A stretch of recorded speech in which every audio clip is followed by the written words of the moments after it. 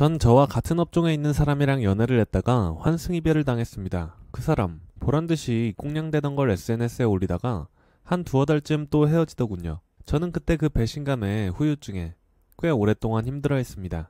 그러면서도 너 같은 사람 절대 다신 안 만난다라는 마인드로 다이어트도 빡시게 하고 저를 꾸미는 것에 노력을 한 결과 전보단 비교도 안 되게 변화했고요. 그러다가 어쩔 수 없이 같은 업종이어서 걔가 있는 술자리에 저도 초대가 됐더라고요. 어디 맛 좀 봐라 하는 마음으로 몰래 그 술자리에 갔습니다. 아니나 다를까 저를 보고 매우 화들짝 놀라더라고요.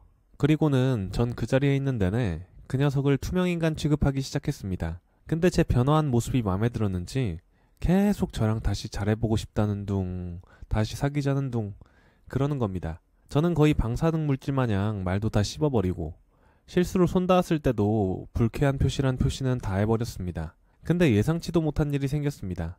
그 녀석이 있는 데서 다른 남자가 저한테 관심이 있다는 얘기가 나왔다는 겁니다. 저는 이때다 싶어서 계속 무시로 일관해주던 걔의 눈앞에서 바로 쿨하게 오케이 하고 그 남자에게 연락처를 줘버렸습니다. 지금의 전 정말 잘 살고 있고 그딴 쓰레기 쳐다볼 필요도 없을 정도로 정말 행복하게 잘 살아가고 있습니다.